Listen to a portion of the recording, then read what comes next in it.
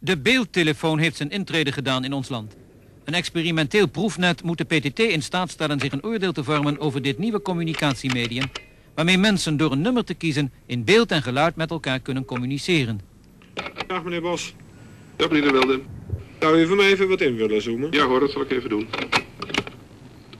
Ja, ik had u graag even dat eh, kaartje willen laten zien. Er kan ook visuele informatie worden overgebracht. Via een kleine spiegel wordt het beeld dan op de cameralens geprojecteerd. We hebben dus op dit moment eh, op het Natuurkundig Laboratorium in Eindhoven 15 aansluitingen. Dan krijgen we 11 aansluitingen bij Philips Telecommunicatieindustrie in Hilversum.